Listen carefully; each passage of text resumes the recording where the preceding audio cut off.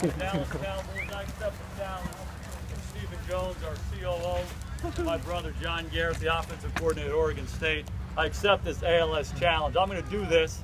I'm going to challenge Chip Kelly of the Philadelphia Eagles and Jay Gruden of the Washington Redskins to do the same thing in the next 24 hours. Okay? One, two, three.